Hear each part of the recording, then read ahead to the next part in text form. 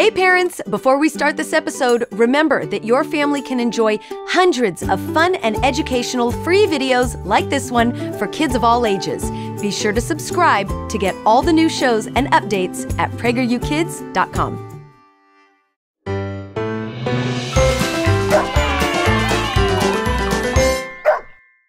Okay, oh, okay, put the jacket on. Oh, hi! Welcome to Otto's Tales. I'm Jill, and today Otto and Smidge here are getting me ready for an expedition. Uh, oh, pink gloves. Very cute, Smidge. I do like pink. Uh, are you sure I need all of this stuff? I mean, it's kind of getting hot in here. What's so funny? And hey, where, where are you two going? Now what am I supposed to do? Oh. Course.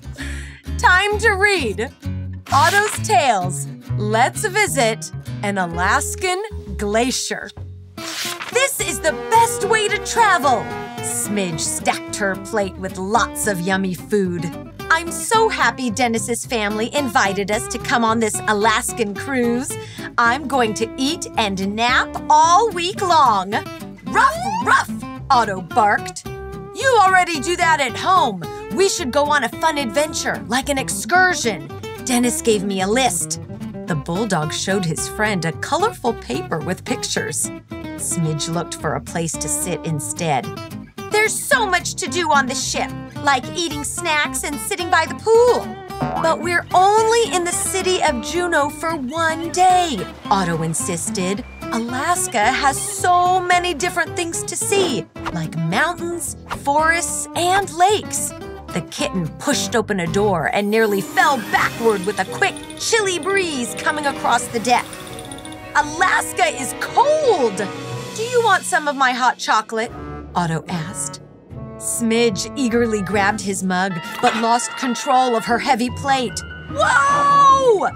The bulldog caught her plate, but the paper slipped from his paws. The wind blew it over the edge of the ship. That was close! The kitten exclaimed. Otto sighed. Now I have to find another list. Did someone drop this? Someone called from the sea below. The friends peeked over the rails and saw a sleek orca whale waving a giant fin. That's ours! Otto barked. Meet us at the dock.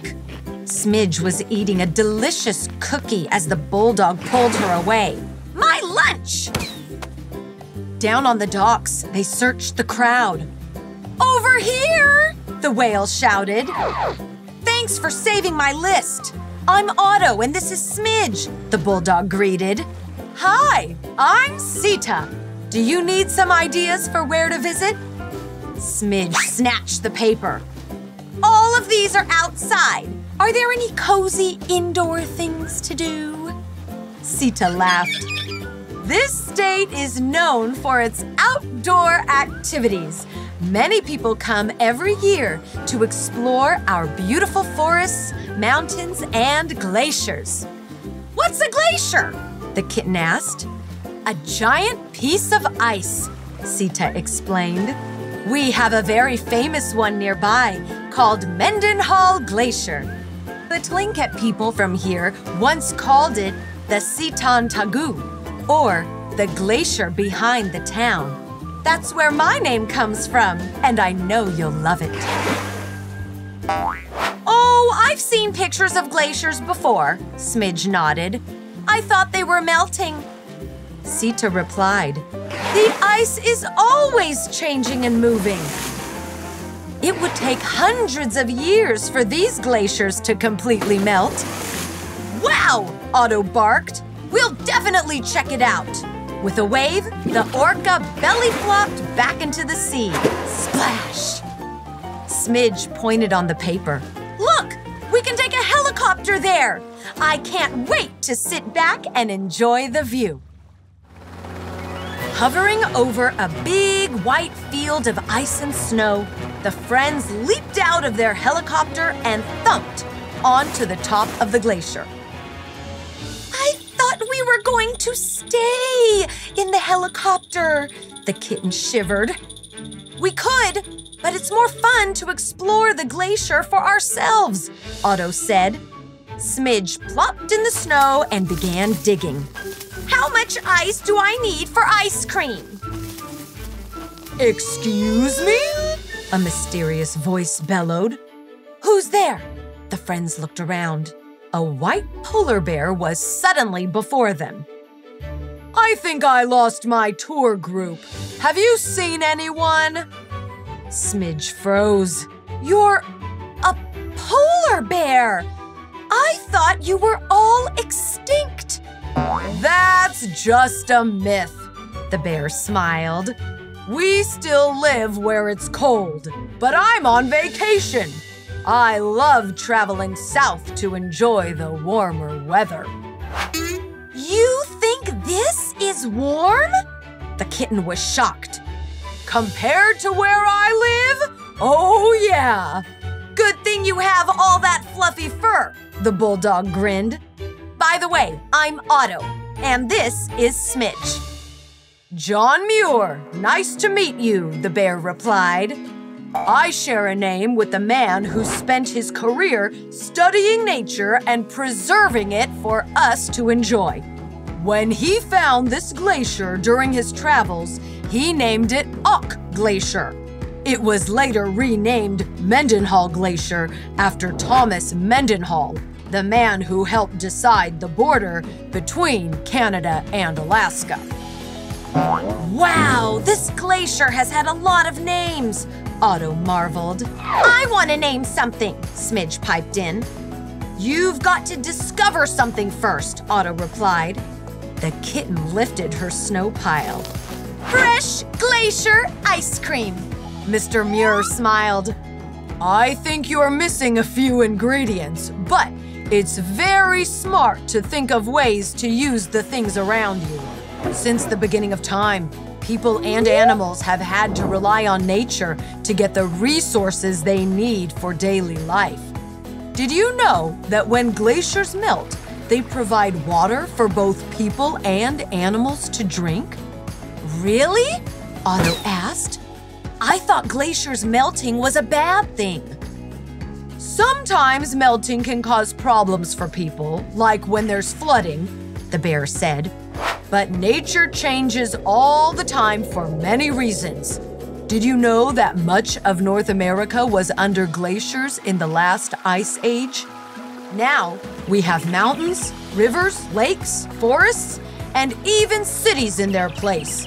As the earth changes, we do too. I didn't realize how powerful nature is, the kitten admitted. If nature is so big and hard to control, then how can we protect it? Mr. Muir looked them in the eyes. Through stewardship. What's that? Smidge wondered. Stewardship means to take care of something, the polar bear explained. You take care of your body by giving it food and water so it can stay healthy.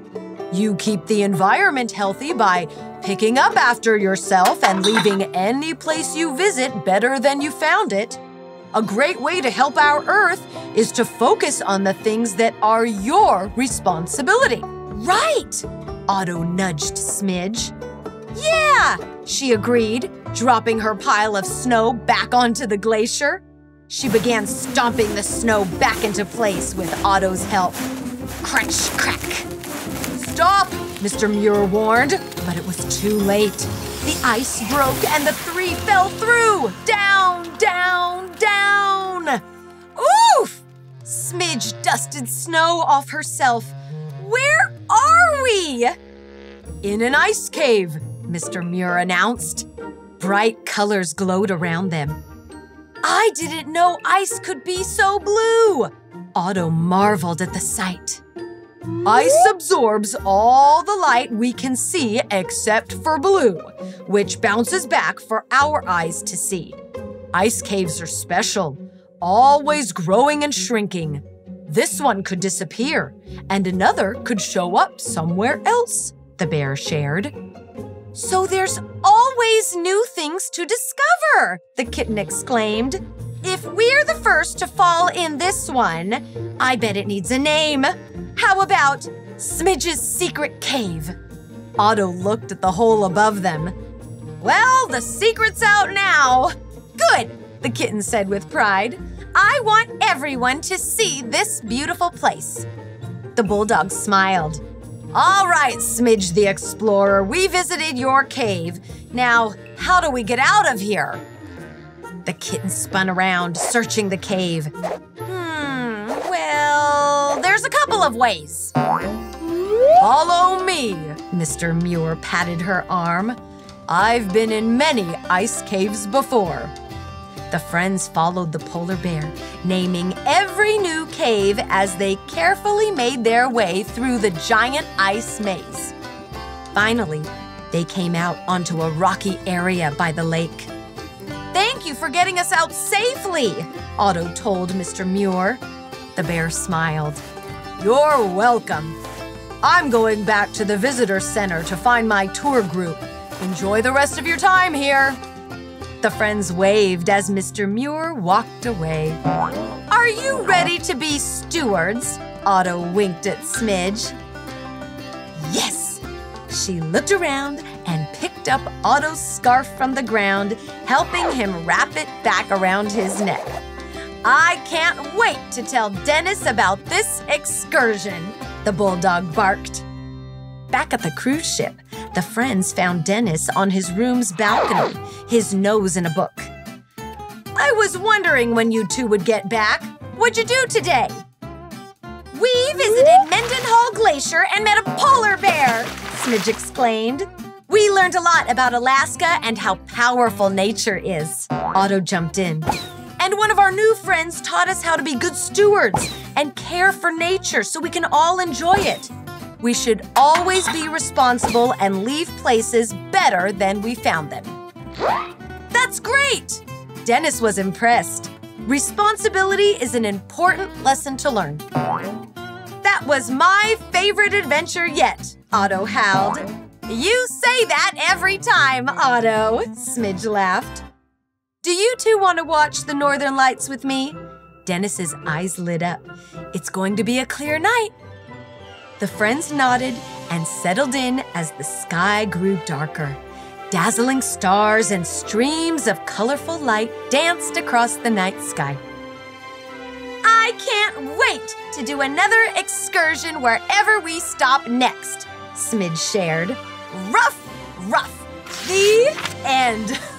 now I understand why I had to be ready for the cold. Otto oh. Smidge, you two are very clever and very funny. But nature is pretty amazing, isn't it? Learning how to love and respect nature as it changes is an important responsibility for all of us. And we can all do certain things to help nature, like not litter and not waste water, right? But it's almost impossible to control nature. Yes? Yes. Uh, do I still need to wear these gloves? Whew! It's hot. You for watching Otto's Tales. Check out some of our other stories too. Keep reading, keep watching, and keep learning all about the great places that make America special. Bye bye.